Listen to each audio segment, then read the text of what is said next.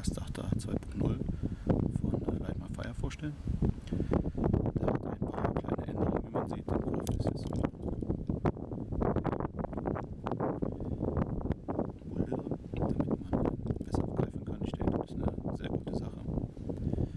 Dasselbe ist ähm, bei dem Starterplättchen dabei. Das ist äh, einiges kürzer geworden und dadurch handlicher, auch leichter zu transportieren. Das klimpert nicht mehr so man kann es halt besser anpacken. Ähm, die Funktion ist genauso gut wie bei dem alten. Also. Mit dabei ist auch eine kleine Notpfeife, die ich sehr gut finde. Aus dem einfachen Grunde, ähm, dass wir unterwegs waren und mussten dann im Wald äh, Feuerholz suchen, dann liefen alle kreuz und quer. Und durch die Pfeife kann man eben sich auch signalisieren, dass eben einer Feuerholz gefunden hat oder Blattlaub und so weiter und alle anderen kommen dann helfen, anstatt alle quer durch Gegend laufen. Und ähm, am Ende dann fünf ohne kommen und einer vollgepackt ist. Ja, ich finde gute Erneuerung, neue, gute Verbesserung und äh, spreche damit meine Kaufempfehlung aus. Ja, dann äh, bis später. So, jetzt wollen wir mal sehen, wie der Feuerstarter 2.0 seine Arbeit macht. Ist ja dasselbe Material wie der Feuerstarter 1.0, aber trotzdem auch Spaß.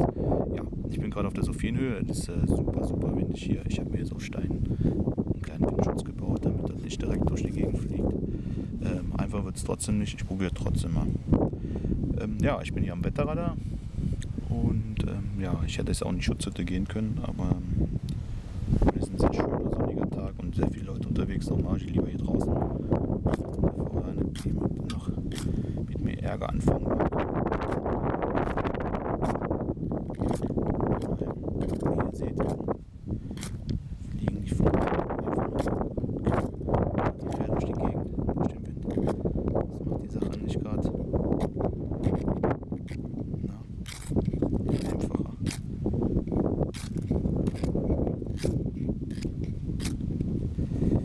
Ja, ich denke, bevor ich jetzt hier 10 Minuten euch zeige, wie das Feuer nicht angeht, äh, nehme ich mir jetzt ein bisschen meinen Tampon, äh, von den gekauften Tampons von meiner Freundin, meine ich natürlich. Später. So, ich habe jetzt ein bisschen äh, Butter reingemacht, nicht zu viel. Und die Birke habe ich dran gelassen, weil die mir einfach mehr Zeit gibt, um mein Spit anzuzünden, weil die Watte unbehandelt einfach relativ schnell verpufft. Ne? Mein Sekundarzünder ist jetzt die Birke. So, es sollte eigentlich relativ gut funktionieren. Ja, ihr seht, die wird sogar ausgeblasen hier. Ich komme mir auch so ein bisschen vor wie auf dem Schiff oder so.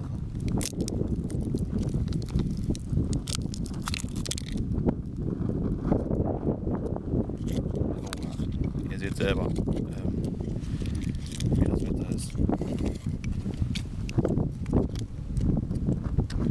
Ja, das tut man nicht alles für den Tee.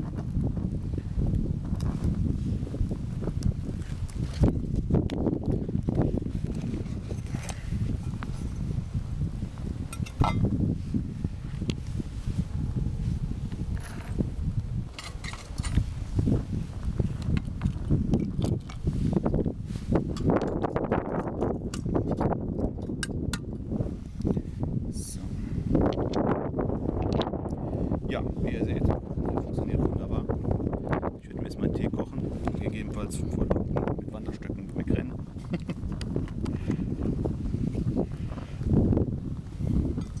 Dann werde ich mir noch einen schönen Tag hier machen.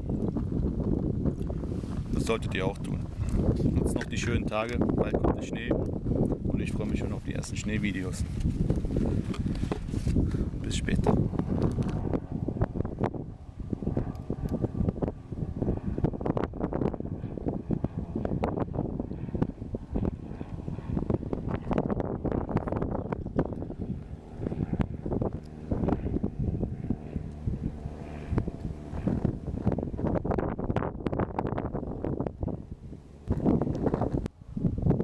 Was sehr lustig finde, ist, hier laufen ja ab und zu oder Wanderer, die sehen, dass ich mir einen Tee koche, gucken mich an, als ob ich der super Umweltsünder wäre. Und ungefähr 200 Meter weiter hier ist ein Loch von, ja, weiß nicht, 10 Quadratkilometer, was die RWE gemacht hat. Und das interessiert hier kein Arschloch. Und warum? Wir gucken sogar